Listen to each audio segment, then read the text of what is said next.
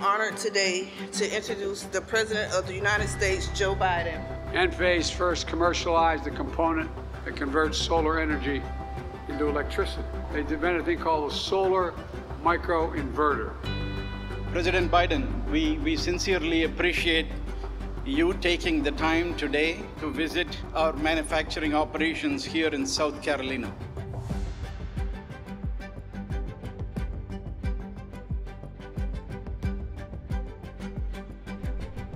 Enphase was founded in 2006 with the purpose of advancing a sustainable future for all.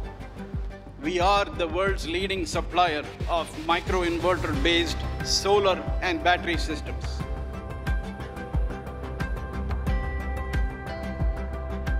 Today, if you see a home in the US with solar panels on it, there is a very good chance that it already has Enphase microinverters in it.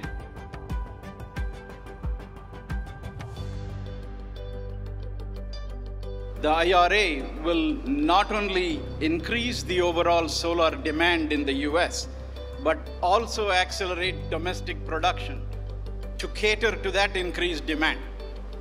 We are pleased to be part of creating new jobs in the US and advancing the country's clean energy economy.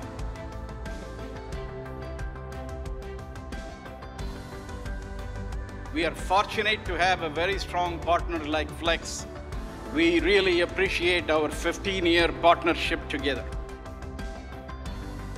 We heard the leadership of Enphase say that $60 million they're investing here. Well, that's 1,800 jobs across the country and up 600 permanent jobs right here in South Carolina.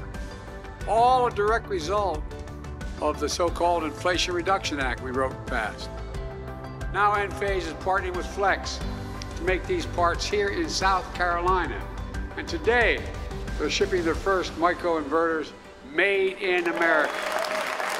Made in America.